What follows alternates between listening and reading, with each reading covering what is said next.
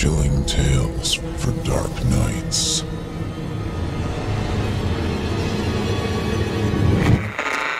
Want to make sure you never miss a Chilling Tales for Dark Nights video again? Be sure to subscribe and hit that bell to turn on notifications.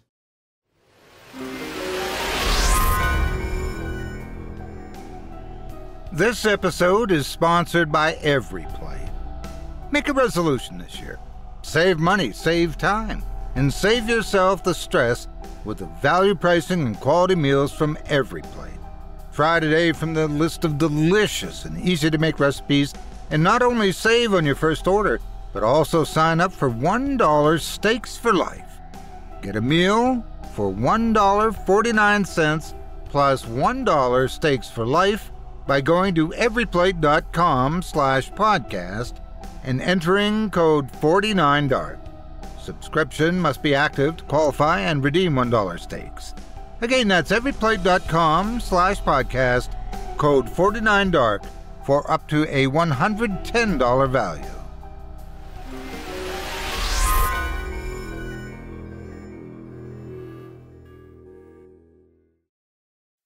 The following program is a production of Chilling Entertainment and the creative team at Chilling Tales for Dark Nights, and a proud member of the Simply Scary Podcasts Network. Visit simplyscarypodcast.com to learn more about this and our other weekly storytelling programs. Thank you for listening and enjoy the show.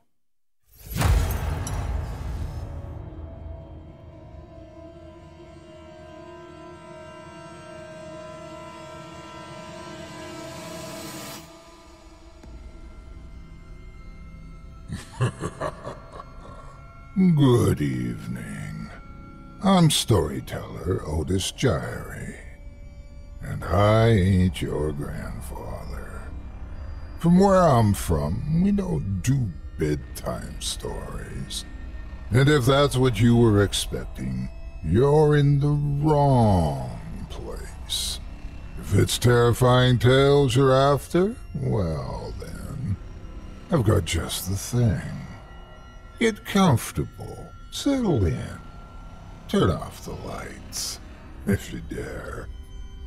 Your night is about to get a whole lot darker. Who needs sleep anyway?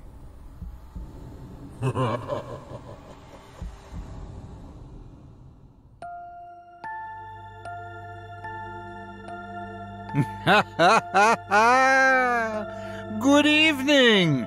You're listening to Scary Stories Told in the Dark. Welcome, dear listeners, to Season 14, Episode 11. I'm your host, Otis Jiry, and in this episode, I'll be performing four tales to terrify you, courtesy of authors Dominic Eagle, Brian Martinez, N.M. Brown, and Seth Paul. Tonight we'll hear stories of medical monsters, terrifying townsfolk, gastronomic ghoulishness, and concerning coincidences. You're listening to the standard edition of tonight's program, which contains the first two spine tingling stories. If you'd like to show your support and enjoy an extended version of this and other episodes with twice the terror, visit simplyscarypodcast.com and click Patrons in the upper menu to sign up today. Thank you for your support. Now, it's time to take a walk together down the moonlit trail. So lock your doors, turn your lights down low, and settle in. the show's about to begin.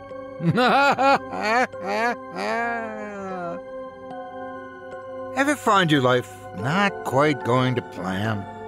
Or notice weird things about your neighborhood? Or your neighbors that just don't seem quite right? Maybe it's just coincidence, or maybe there are things behind the curtain of normal life that we'd uh, be best off not knowing. Because if we know too much, they may not take too kindly to it. Dominic Eagle brings us our first tale of the night, a wonderfully sinister feature of a company that seems to be doing a great job employing people in a small coastal town. Except that the employees themselves are finding the jobs not so great themselves. If only they knew more about their mysterious employer's new project. although some may get a lot closer to it than they'd like to know. Without further ado, I present to you Eclipse.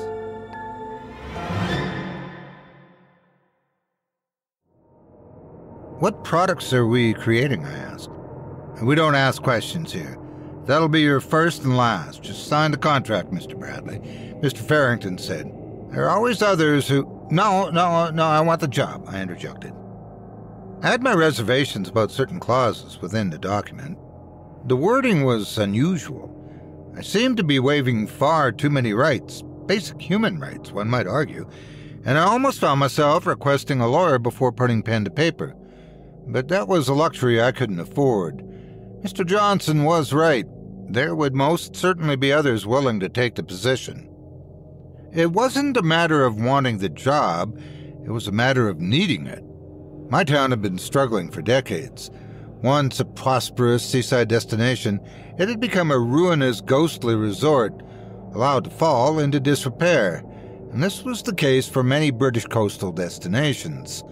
Locals flocked abroad for their holidays in the summer, and we hardly ever received foreign tourists. Our economy was practically non existent. So imagine our joy upon discovering that Eclipse, a lucrative organization specializing in experimental technology, planned on opening a headquarters here. For many of us who'd been commuting to nearby towns and cities for work, it was the lifeline we sorely needed. You took the job? Come on. They're a bunch of city fools, Sam. You don't need 'em. Mr. Johnson huffed. We all need them, Mr. Johnson, I told the grumpy shopkeeper. This town's dying. Dying? Poppycock. It's coming back to life, boy. You'll see. Global warming's gonna put everything straight. Summers are getting warmer in this country. Holidays at home are gonna start looking pretty good again. I stifled my laughter at the shopkeeper, relishing in the prospect of Earth's demise, all for the greater good of the town's tourism industry. Unwilling to be lectured any longer, however, I simply smiled and lightly nodded my head at him. He folded his arms crossly, tapping his foot furiously, as if he were itching for the opportunity to scold me. But I didn't give it to him. Packing up my food, I quickly left the store. In retrospect, Mr. Johnson was right to be suspicious of Eclipse. If only the rest of us had not been so naive. The company building had sprung into being in a matter of weeks. A glass monolith on the cliffside, an unnervingly out of place monstrosity. The brief construction time baffled town residents, but that was just one of many mysteries surrounding the secret of business. And though I was one of the few lucky locals with the qualifications necessary to secure a role at the company, I certainly wasn't privy to any of those secrets. I only knew what I needed to know for the purposes of my rule. I was an outsider, but so were the others who gathered alongside me in the cramped office space on our first day at Eclipse. We stood still, gormlessly eyeing the short, withered woman who shuffles towards us. Mrs. Cole, our line manager, a woman we would never see again. Level 11. Remember that. Lock it into your heads. This is your floor, she said. You'll take the lift directly to 1111 at all times. Requests to access other floors will always be denied. Understood? My colleagues and I aggressively nodded our heads. Sweat collected on my brow. I think we all sensed that something was very wrong with that place, and I'd certainly read plenty of disparaging articles about the company's murky history. We all had. Stories of disappearing people, deaths, suicides, all things that the CEO had explained away, things that were unrelated to the company. And I was willing to believe the lie. Desperation will push a person beyond their ethical bounds. If the paycheck would keep a roof over my head, I'd gladly play by the rules. That's what I told myself on the first day. Besides, I was only a low level engineer. My daily routine consisted of keeping systems operational and not asking questions. They didn't hire me to ask questions, they hired me to answer them. Mr. Farrington made that very clear in my initial interview. I could see some of the moving parts involved in the company operation, but I could never see the full picture. That was sufficient to keep us in the dark. Even now, seeing what I've seen, I can't tell you the full story of Eclipse. There's so much I still don't understand. What do we do in this situation? Clarissa asked. The meek, skinny, pale girl startled me. She never usually spoke. Her question jolted me away from my screen. In fact, it was rare for any of us to discuss work. When we talked, we talked about things happening outside of those glass walls family, friends, joyous things.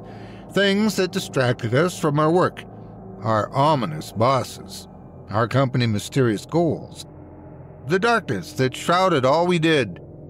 There was no room for communication about work.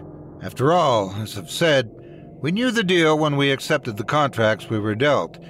It wasn't a role for those who might ask questions. But, sure enough, that was exactly what happened on that day. I found myself in an interesting predicament. For the first time in a month, one of my fellow engineers was asking me for help. And so I followed her to her workstation, heart leaping in my chest. It should have been an indicator of the company's hostile and unyielding atmosphere that a simple question would elicit such a dread in my body. I'd call it a hostile work environment, but there was no environment of which to speak. I'd almost forgotten that there were other people on level 11 with me. What's up, Clarissa? I asked as we arrived at her desk. She pointed a shaky finger at her screen. Level 13. That's what the email says, right? she asked. I leaned over and squinted at the text on the screen. You've been requested on level 13. Urgent. Do not respond. Drew Farrington, Director. I stood up, straightened my shirt, and unleashed a deep sigh before scratching my chin thoughtfully. I've not misread that, have I? she asked. I gulped and shook my head but we're not supposed to request access to any other levels, and we're we're not supposed to ask questions. Clarissa said, I don't want to lose my job. Do I just ignore the email? Did you get one like it? I shrugged. Not as far as I remember, but I do shove things straight into the deleted folder. I'll check after lunch, but I'd say this warrants contacting Mrs. Cole. She said that those who ask questions aren't part of the Eclipse family, I finished, sighing. She said emergency are the exceptions. Is this not an emergency? Mr. Farrington called it an urgent matter, but he also said not to respond. Maybe I should go to level 13, she said hoarsely. Requests to access other floors will always be denied, I said, echoing Mrs. Cole. I suppose you could try, though. If they refuse access, you say you did as asked. Do you think that's the safest approach? Clarissa asked. I sighed. This place is the worst. But yes, is this job or no job? She shrugged. I walked with her over to the lift as if she were an inmate on death row. The other engineers, working quietly at their desks, shifted uncomfortably in their seats, eyeing the colleague who was about to do the unthinkable and as she pressed the button labeled 13, Clarissa offered me a weak smile. I'm sure it dissipated as soon as the doors closed. She knew, as well as we all did, that this was more than a company with a toxic culture. The eight of us working on that floor sat anxiously for the rest of the workday. None of us looked at our screens. We eyeballed the lift doors anxiously, awaiting Clarissa's return. She left at midday and she didn't return. As the sun started to set and the clock ticked past 5 p.m., we all rose to our feet. With somber expressions on our faces, we silently glanced at one another. Clarissa had confirmed what we always feared. The stories about Eclipse were true. We bundled into the lift together, safety in numbers, I suppose, and rode down to the ground floor. It was of paramount importance that we leave the building with plenty of time. No working later than 5:30 p.m. That had been an important clause in the contract. And though I'd thought it to be one of the few healthy aspects of the company work culture, initially it had taken on a new meaning. Clarissa had broken one of the rules, and we never saw her again. You might think we were overacting on that initial day. After all, Clarissa could have been busy fixing some major engineering issue on the 13th floor. It might have taken her hours. But we knew that wasn't the case. We felt it. We had always felt something to be wrong with that place. And as the days passed without any sign of our colleague, we realized that we weren't paranoid. This was, and always had been, more than a simple case of an unhealthy working environment. Five days, Johnny muttered to me on my lunch break. It's been five days since anyone's seen her, Sam. You know, I lied to her mother the other day. I said Clarissa went on a business trip for the month. I didn't want her to go sniffing around asking questions. Who knows what they'd do to her? But that'll only help for so long. She's still worrying about her daughter not picking up the phone. What do we do? This never should have happened. We never should have signed those contracts. We always knew, I whispered. We knew this place was off. Why did we stay? Why did I tell her to? I did this to her, Johnny. I told her to go up there. It's not your fault. How were you to know? He asked. I can't get away with this. I'm going to ask them what they did to her, Rachel said. Screw it. I'm ringing Mrs. Cole right now and. Are you an idiot? I blurred. I. Sorry, that was. I didn't mean that. Look, we can't lose our heads. We don't ask them things, Rachel. Clarissa has shown us what's happened when we break the rules. But we don't know what's happened to her, do we? Rachel pressed. Let's not build them up into mythical beings. They're people. Cruel people, but people. I don't know, I said. I've read things that people say about them online, deaths for which they were supposedly responsible, but they always dispelled the rumors. Well, they won't get away with it this time, Rachel said. I think we need to call the police. What? Peter and Michael? That's our entire department, Johnny snorted. Those two belong in a retirement home, not stepping toe to toe with these monsters. Face it, Rachel. Eclipse chose this town because they knew we wouldn't be able to put up a fight. A ding from Rachel's computer interrupted our conversation. She sighed, returning to her computer. And then, Oh no. What? Johnny asked. I. Uh, this can't be happening. She whispered. The two of us strolled over to her desk, and the other engineers on the floor joined us. We stood silently, reading the horrifying email that had appeared on her screen. You've been requested on level 13. Urgent. Do not respond. Drew Farrington, Director. I'm going home, she said. I'm going. I. Rachel, we talked about this, Johnny warned. Who knows what they might do if we try to leave? Well, I'm not going to level 13, she cried. I know, I know, he said. I'll go, I whispered. The other seven engineers twisted their heads to stare at me blankly. The words had escaped my mouth before I even considered them. But I know why I said it. Guilt. Sheer, all consuming guilt. It was my fault that Clarissa had gone missing, and I couldn't let that happen again. For the past week, the horror of Clarissa's disappearance had taken a heavy toll on my mental well being. I might have believed I deserved whatever punishment the Eclipse gods would deem fit for me, but mostly I was simply relieved to see the thankful look on Rachel's face. Her eyes swam with tears of gratitude as I stepped into the lift. They didn't ask for you, Johnny said. I know, I replied. So what do you think will happen when you show up? he asked. If anything, I hope it buys you some time to get far away from here, I said. Take your families and go. I pressed the button labeled 13, and a wave of nausea overcame me as a red ring encircled the foreboding number. What was I doing? Too late to question that now. As the lift doors closed, I embraced my certain doom, and with a slight rumble, the lift began to climb higher than I'd ever seen it go before. The numbers on the screen scrolled excruciatingly slowly. From 11 to 12, from 12 to plunk.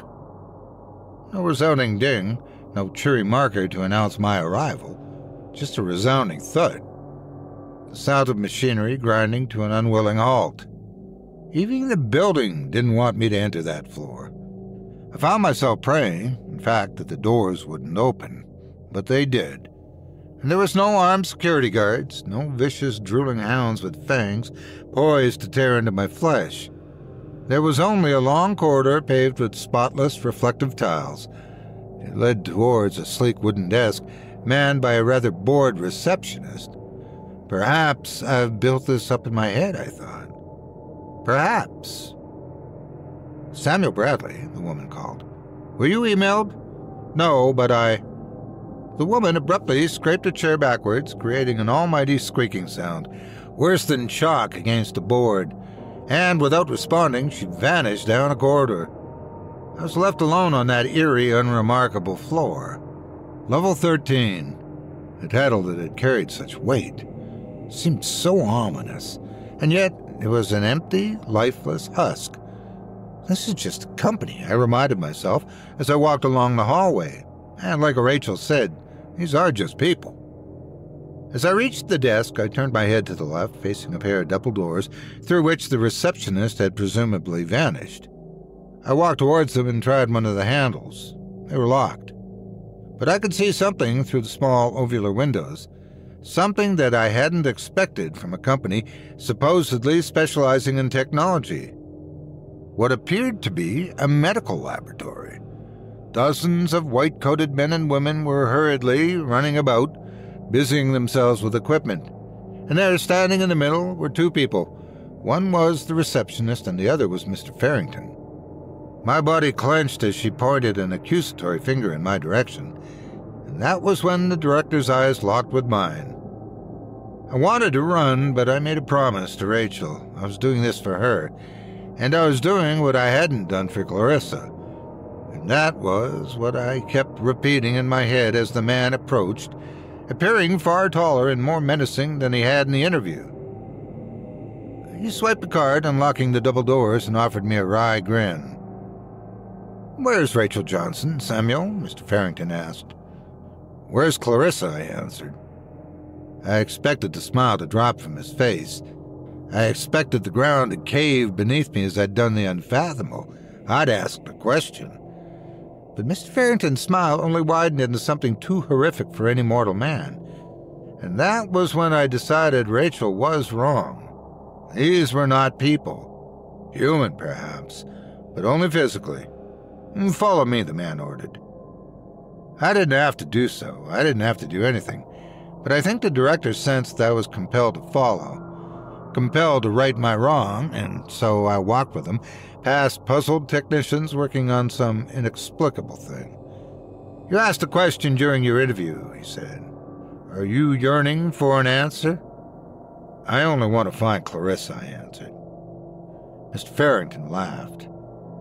We're nearing the answer to all your questions, Samuel. Eclipse is more than a company. It's the next step in human evolution, but even that, no, that's contrived. We're doing something that nature itself cannot do.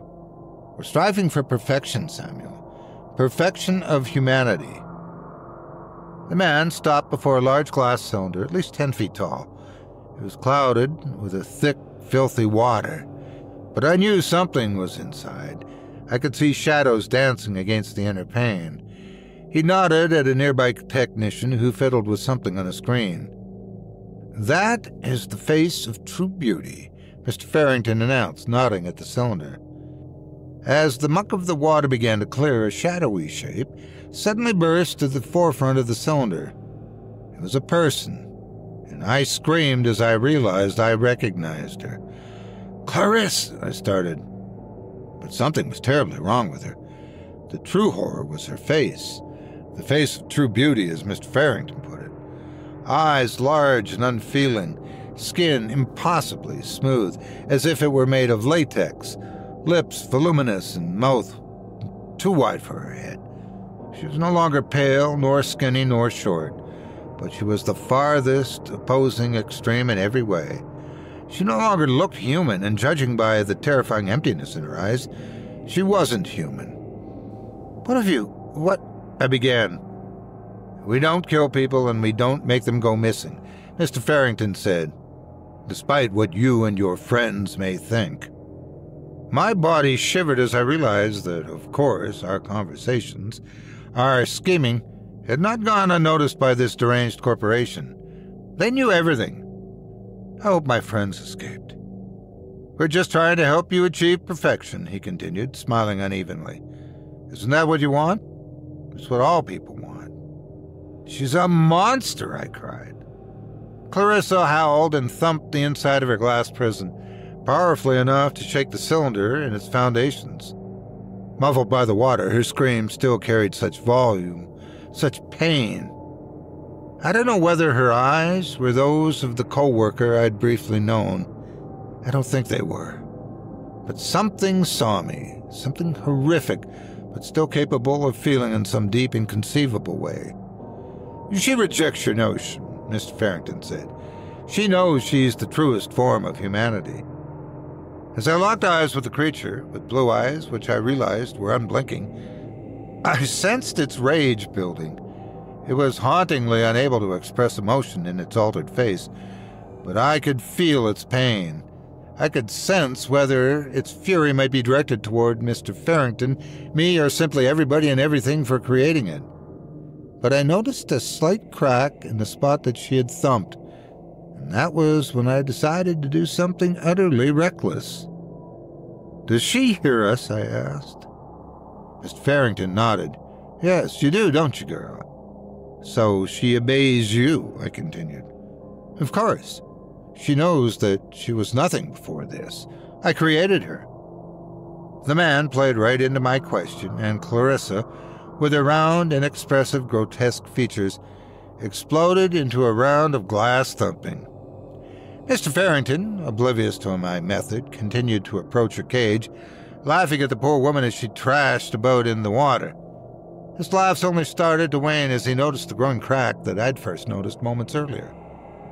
The tranquilizer, Enfield! Now! he screamed. It was too late.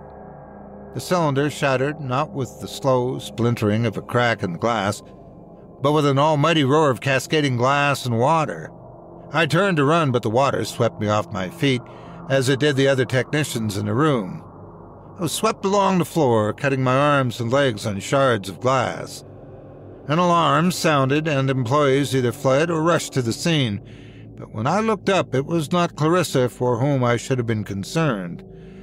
The woman, who stood a little over six feet tall, and yet she somehow towered over those around her, perhaps due to the fact that they were cowering in fear. I watched in horror as she seized Mr. Farrington by the lapels of his coat, hoisting him up so that his eyes met her, her gargantuan, unmoving eyes. Please, Clarissa, I. Are you in there? Can you hear me? The part of you that's still human must. His pleas were cut short. With immense, unimaginable strength, Clarissa snapped the man as if he were a twig, his life drained in a moment as every single bone in his body splintered. She did it with ease, much as she had broken her own cage. I trembled in the puddle collecting around me as the inhuman abomination proceeded to tear through eclipse workers like brittle branches on a forest floor. Soon the screams subsided, and the only remaining noise was the blare of the alarm and the only remaining things in that room were her and me. She surveyed me for several endless seconds. Those eyes still haunt my dreams. That plastic skin. I braced for death, but it never came. I don't think she remembered me. I don't think she was even Clarissa anymore. But she understood that I'd freed her. She understood that I had also been imprisoned, and there was only one thing left for her to kill I reached out a hand pleadingly as I watched her barrel toward one of the windows, overlooking the cliff edge, but I couldn't stop her. She moved at an unimaginable speed, and she fell through the window. I rose to my feet and fled. I made it out. Haven't heard from my colleagues since that day. As for Clarissa, I hope she survived the fall and slaughtered the bosses of Eclipse one by one. She's a horror beyond horrors. But that company is the only thing I truly fear.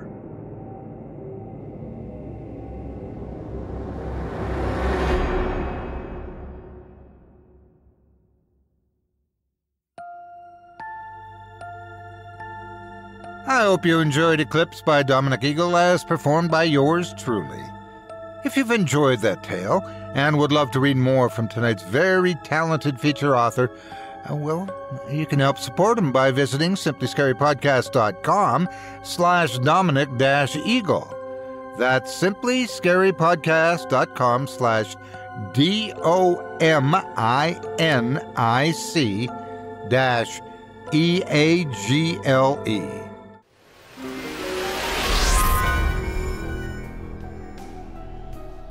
This episode is sponsored by EveryPlate. It's a new year, and one thing we all know is that many make resolutions, but few will stick. Well, how about trying something that'll save you your valuable time and money and still result in delicious meals for everyone in your household? EveryPlate, from the people behind HelloFresh, provides you delicious meals sent right to your door for cheaper than your typical fast casual restaurant. Just select from a list of 25 meal options that rotate on a weekly basis, all containing quality ingredients, and with quick and easy options, you can have a meal from stove to plate in less than 30 minutes and with easy cleanup to boot. With the money you'll be saving, you can put it toward other savings for 2024. And that's not all. With your weekly order, active subscriptions can add a 10 ounce ranch steak for just $1. So if you love cooking like I do, but looking to save time in the kitchen, that's what's so great about EveryPlate.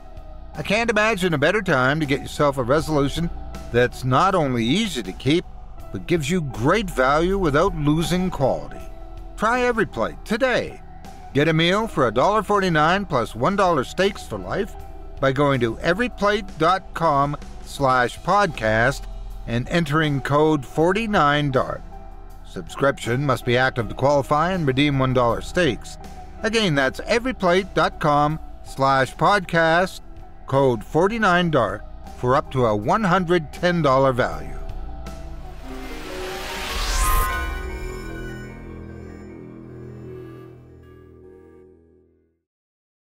Thanks again for your support of this program and tonight's featured author.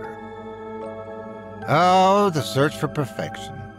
I've noticed that those who seek absolute perfection are, well, they're either very, very imperfect themselves or are violently murdered by their creation. Either way, I recommend just doing the best you can. Sometimes it's who moves into your town. Sometimes it might be just the town itself that hides its dirty little secrets. For one fellow, as brought to us by Brian Martinez, he and his friend are about to find out that there are some people that don't want you to know more than you should. Without further ado, I present to you The Silent.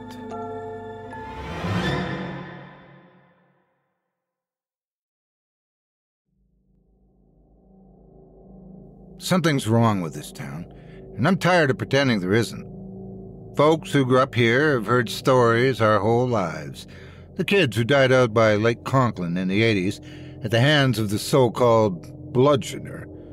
Eddie Thomas, the old man who ran the Sunset Farms bed and breakfast, who also went insane and carried out those despicable murders. Countless people disappearing on jogging paths or out in the woods, phantom roads, unexplained drownings, you name it. We have a story about it. I've always dismissed them as nothing more than campfire stories, tales made up to scare kids and give adults a good laugh at parties. But now, now I'm starting to think there might be some truth to, or at least a few of those stories. Because if one of them, just one of them, turns out to be true, what does it say about the rest? I was in college, good old San Palmo University, the first time I saw the symbol. Paul Evers told me about it, or rather did everything in his power not to tell me. Paul had a habit of making things up, like when he said a flower lady abducted his friend from elementary school. So I didn't believe him at first. We were in chemistry class, and Mr. Mabry was droning on about the periodic table of elements. You know, silicon, lithium, nitrogen, cerium, so on.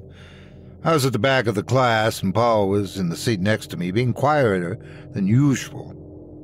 When I looked over to see what he was so preoccupied with, I noticed he was drawing a symbol in the margins of his notes. It looked like an S laid on its side with a spike driven through the center, plus a few other embellishments around the outside. Quite honestly, it looked too elegant for something Paul would have come up with on his own.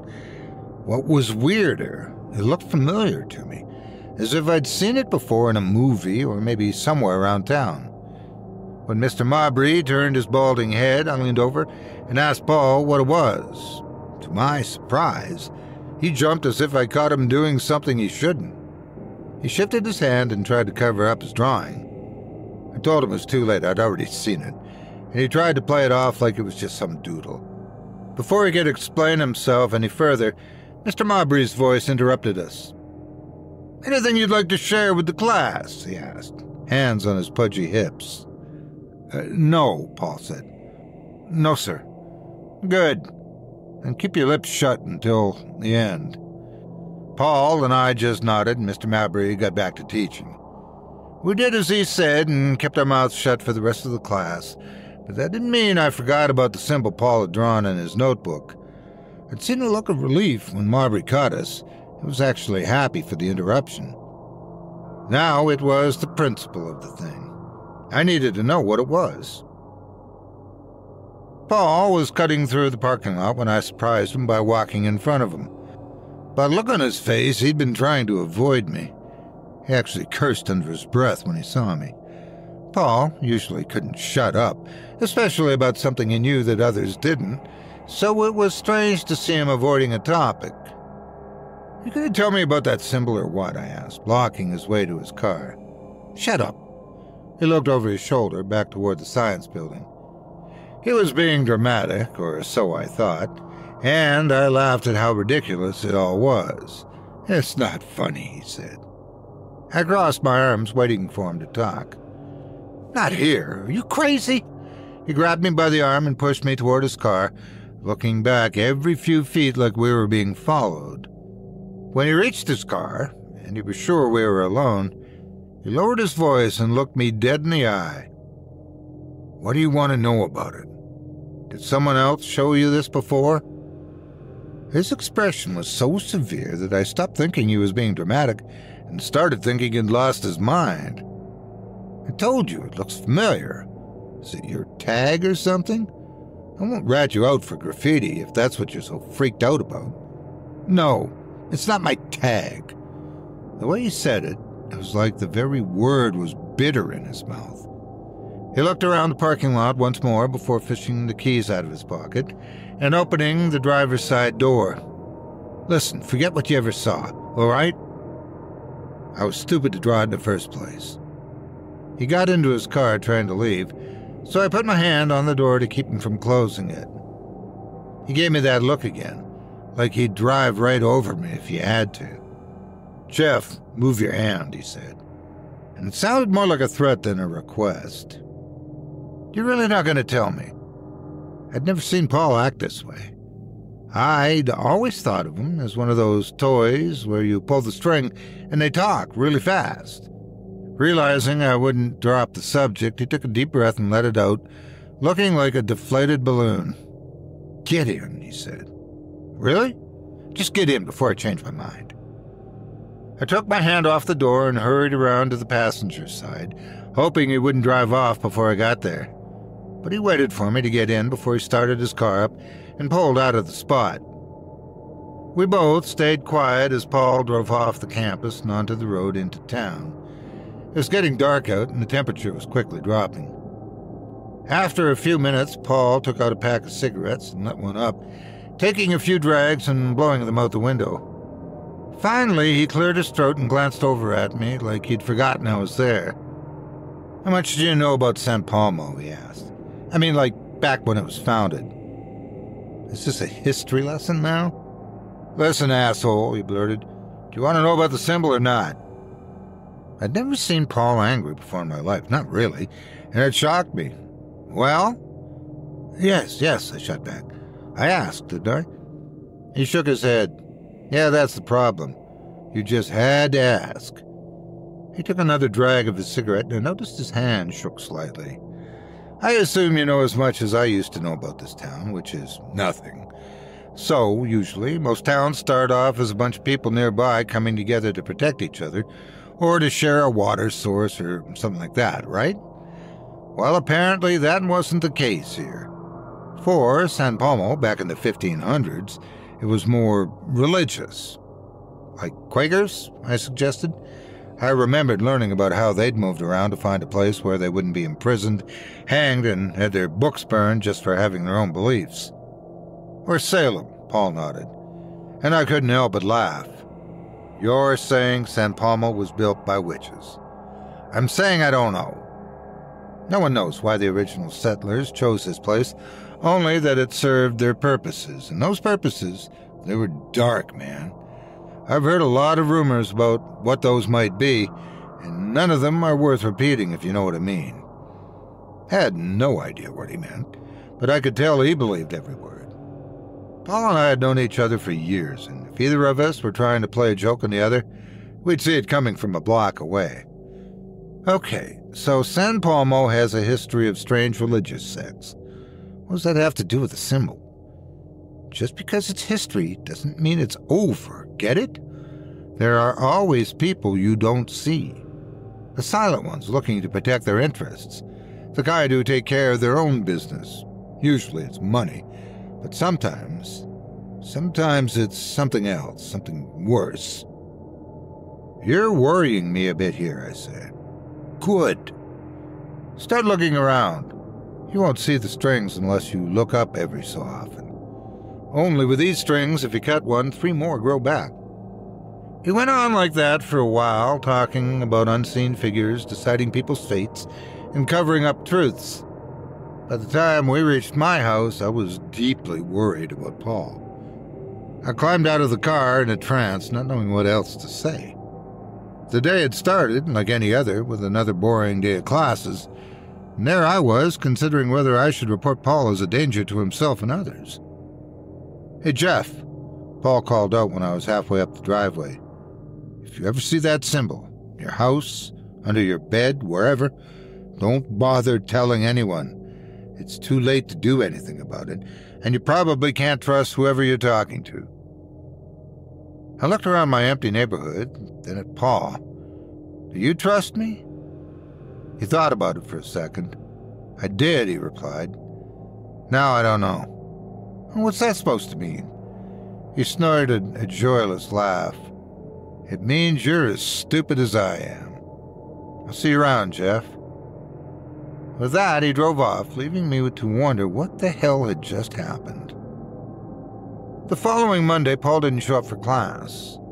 At first, I thought he ditched chemistry to avoid talking to me, but I asked the girl who shared a few of his other classes, and she told me he hadn't been in any of them either. It wasn't like Paul to miss class, not without at least calling someone to take notes for him. He wasn't a model student, but he had a healthy fear of his father, which meant he wasn't screwing around with attendance. All weekend I thought of little else except Paul. The longer I sat with the story he told me, the less I believed it. Paul had always been a big fan of tall tales, from ghosts to cryptids, and everything in between, telling stories with wide eyed belief enjoying the reaction he got out of people. The silent puppeteers of San Palmo were another in a long line of his imaginative retellings, I figured, not worth getting worked up about. And yet, when he didn't show up that Monday, my mind immediately went back to his words on that strange car ride. If you ever see that symbol, don't bother telling anyone, he said. It's too late to do anything about it.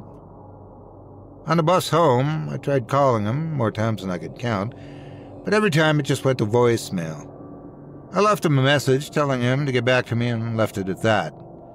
If he was sick, then he was obviously sleeping a deep, medicated sleep. I hope that was all it was. Back at home, I tried to put it out of my mind, figuring I was only working myself up. But when I tried calling again and he still didn't answer, I became more worried than ever. No way he had been sleeping all day. It was possible that he was ignoring my calls, but at some point, the sheer number of them would make anyone think it was an emergency, especially someone who called me a friend. I decided to go for a walk and clear my head. It was a cold night, and I didn't plan on being out for long. But my thoughts were so preoccupied with Paul and the crazy things he'd been saying that before I knew it, I'd walk a couple of miles between my house and his. It hadn't been my intention to spy on him or anything, but now that I'd walked all the way there, I decided to check on him.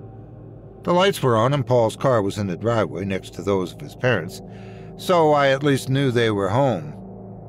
I felt bad knocking on his door without calling first, but, well, it was safe to say I'd tried that enough times.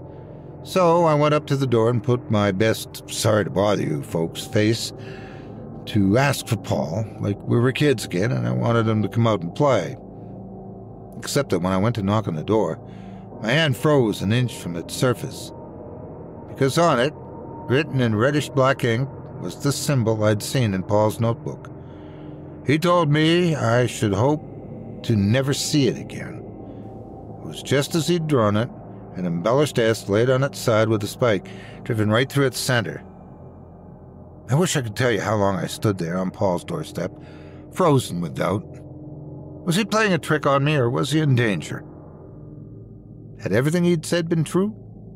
The truth is, I could have stood there much longer, or I could have run away from there and went back home, but some voice in my head told me to stick around and take a closer look. It had been a few years since I'd been inside his parents' house, but I remembered enough of the layout to know that Paul's room was in the back left corner of the first floor. I did the only thing I could think of and stepped off the porch and snuck along the side of the house.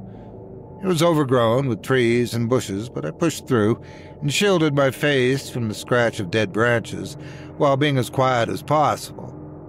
I didn't know what I'd see once I got there.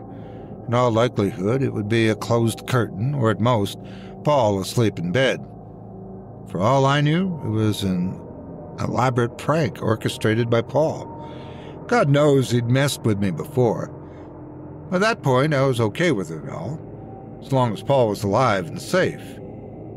As I passed by one of the windows before Paul's room, I caught a glimpse of movement inside. It was the momentary change of light of someone walking in front of a lamp. Nothing more than that. But it was enough to make me turn my head to see what it was. Enough to make me wish I hadn't looked.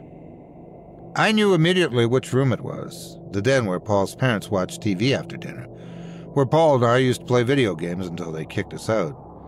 Instantly, I picked out the silhouettes of his parents in their usual spots on the couch. But a moment after that, when I stopped to get a better look inside, I noticed the other shapes in the room.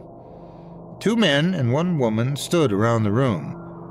They all wore different clothes, expensive but non-distinct. What they all had in common were the masks that hid their faces. The masks were gray, like the emotionless faces of store mannequins, with no designs or markings other than a series of thin lines crisscrossing the mouths as if they'd been sewn shut. One of the women, one of them, stood just in front of the couch where Mr. Evers sat, saying something I couldn't hear. It wasn't until my eyes adjusted to the light that I realized his hands and feet were bound by thin cord, his mouth covered by tape. Mrs. Evers was the same, except her face was streaked with running mascara. More movement caught my eye, this time on the floor.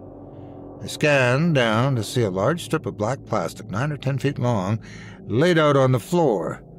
And at the center of the plastic, bound and gagged just like his parents, was Paul. As cold as the night had become, my legs ran even colder at the sight through the wet window. Paul wasn't crying or struggling, but the look in his eyes was worse than if he was. He looked broken and haunted, a trapped animal that had accepted its fate. It was almost unrecognizable from the guy I'd known for years, who told wild stories because he loved to be the center of attention. Now it seemed he'd gotten himself wrapped up in one of those stories, and attention was the last thing he wanted. I needed to call the police, but first I needed to make sure the masked people inside didn't see or hear me. Saving my own ass aside, I wouldn't be able to be much help to Paul and his parents if they caught me before I could make the call. That meant I'd have to sneak away quietly from the window and back to the street before I even thought of taking out my phone. But all thought of that drained away when the two masked men pushed Mr. and Mrs. Evers to the floor, wrapped cords around their necks, and and pulled them tight, squeezing off their air supplies. I felt the blood drain from my face as they kicked and bucked next to their son, who kept staring straight ahead with wet, glassy eyes until finally their kicking stopped. They were still and silent, their eyes looking at nothing at all. I'd never been paralyzed by fear before, but my legs felt like two trees that had rooted into the hard ground. I don't know how it happened, if I moved just enough or if the light outside changed, but just then, Paul's haunted stare shifted slightly, just enough that he looked right at me. We locked eyes, him bound on the floor next to his lifeless parents, me outside the window, equally unable to move. The moment before, the masked woman took a blade from her pocket and slit his throat open. To this day, I don't know if I gasped or screamed or cried out Paul's name as the blood met plastic. I only know that the masked woman looked up, those two dead eyes aimed through the window, and tensed just enough that I knew she'd seen me. That look of recognition was the only thing that thawed my frozen legs. It sent me running back the way I'd come, pushing through the overgrowth with no attempt to protect my face from tiny cuts.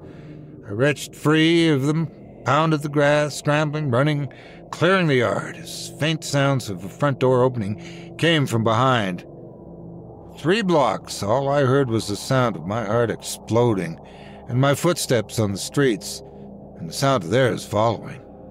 I ran faster than I've ever run, faster than I thought possible, pushed by the image of Paul's parents struggling to breathe, and by the opening of Paul's throat like a sick flower, and also by the thought that anything less than the fastest I could run would mean either of those ends for me. I don't know how long I ran, how many turns I took down streets I'd never seen before, but by the time I slowed down enough to look back, I was alone on the street with no one in sight. After a minute of catching my breath, I figured out where I was and walked home, making sure the street was empty before I went inside.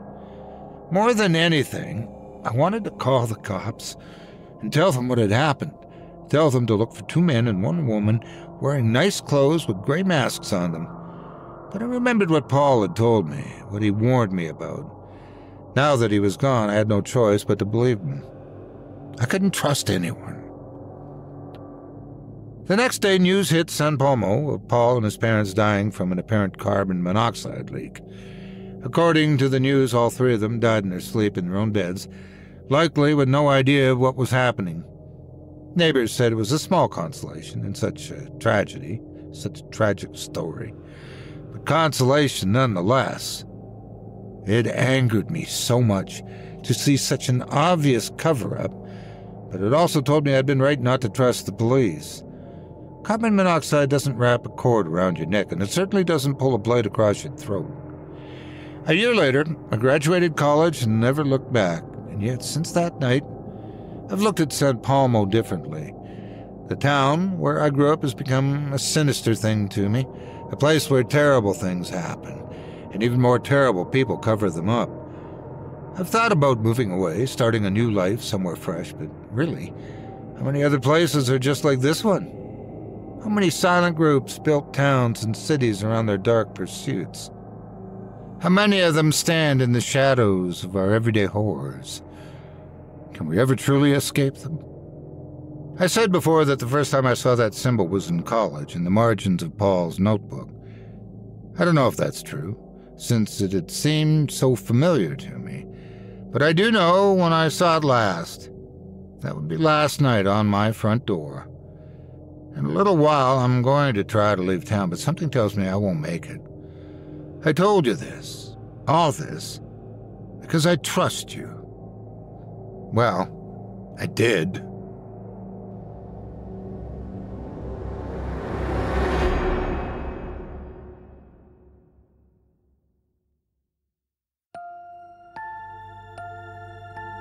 I hope you enjoyed The Silent by Brian Martinez as performed by yours truly. If you enjoyed that tale and would love to read more from tonight's very talented feature author, well, you can help support him by visiting simplyscarypodcast.com slash Brian Martinez. That's simplyscarypodcast.com slash B-R-I-A-N M A R T I N E Z. Thanks again for your support of the program and tonight's featured author. And more than that, a thank you to all of tonight's featured authors. Now, before we go, I'd also like to take a moment to thank you personally for joining me on this episode of Scary Stories Told in the Dark. If you enjoyed what you've heard today on this program, please take a moment to stop by our iTunes page or wherever else you listen to your favorite podcasts and leave us a five star review and a kind word. It makes a huge difference and it would mean a lot to us. If you'd like to hear a premium, extended edition of tonight's and all of our other episodes featuring twice the terror, visit simplyscarypodcast.com today and click Patrons in the link in the menu at the top of the screen. You'll find yourself at chillingtalesfordarknights.com, where you can purchase season passes for this podcast and our other quality storytelling programs. Or become a patron for as little as five bucks a month and get access to our entire audio archive dating back to 2012, all of it ad free. If you happen to use Facebook, Twitter, Instagram, or YouTube, you can follow and subscribe to Chilling Tales for Dark Nights there where you'll get all of our latest updates and new releases and have the chance to interact with us each and every week. You can subscribe to me on YouTube as well at the Otis Jiry channel, where you'll find releases of my series, Horror Storytime, dating back to 2014. Wow, 10 years already. And you can find me on Facebook, Twitter, and Instagram too. Just search for Otis Jiry. Until next week, stay spooky get some sleep. if you can.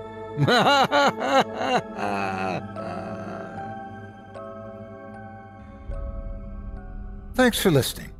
You've been listening to Scary Stories Told in the Dark, a production of Chilling Entertainment and the creative team at Chilling Tales for Dark Nights, and a proud member of the Simply Scary Podcasts Network.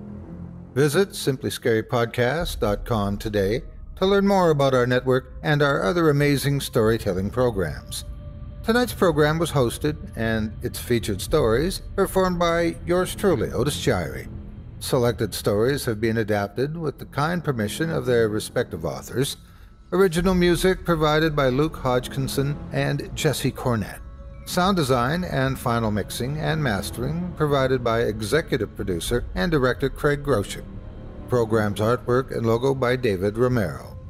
If you're looking for some fresh tales on a daily basis while waiting for the next podcast, check out my YouTube channel, the Otis Jiry channel, and my extensive collection of narrated tales there.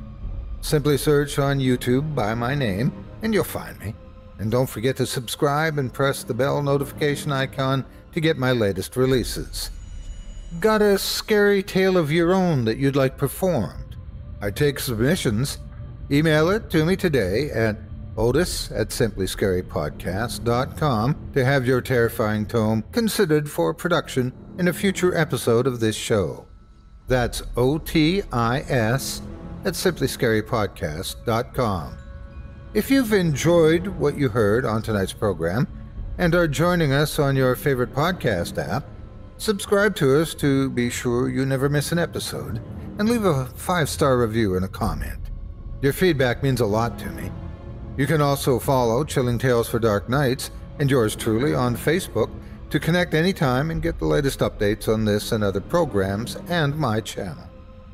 If you're listening on the Chilling Tales for Dark Nights YouTube channel, do us a favor and hit the subscribe button and the bell notification icon for CTFDN as well to get more spooky tales from me and the crew and another episode of this program each and every Wednesday. And don't forget to hit that thumbs up button to tell us how we're doing and leave a kind word or a request. And don't forget to visit us at chillingtalesfordarknights.com and consider supporting the team by becoming a patron. In addition to helping us out, you'll get exclusive access to our audio archive and ad-free downloads of all your favorite stories including those you've heard on this program. As for me, I'll be back next Wednesday with more terrifying tales to keep you up all night. But that's all right. Who needs sleep anyway?